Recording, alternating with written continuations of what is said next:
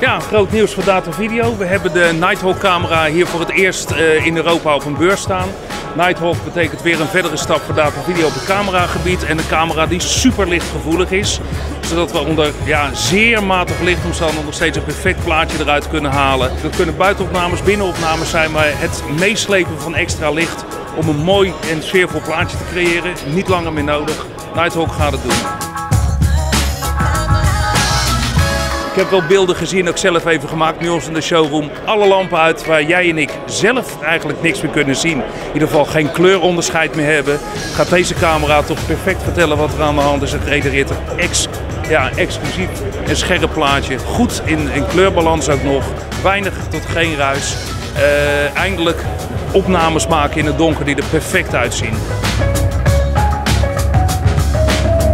De hele lenzenset en dergelijke, dat is wel een verhaal. Dat is gewoon Micro Four Thirds, dus daar kunnen we alle gangbare lenzen op gaan gebruiken die al in de handel zijn. Prijstechnisch? Ah, de grote vraag natuurlijk altijd op zo'n beurs. Uh, daar moet nog flink over gesteggeld worden, maar hou rekening met de prijs voor de body. Uh, om en nabij de 3.500 euro. Dat zal een richtlijn zijn.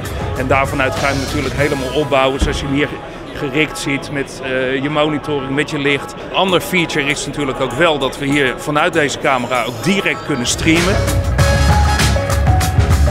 Wij plannen deze camera eigenlijk als een soort van eh, kerstcadeautje te kunnen gaan leveren. Ik hoop dat hij voor eind van het jaar uh, op de markt kan verschijnen.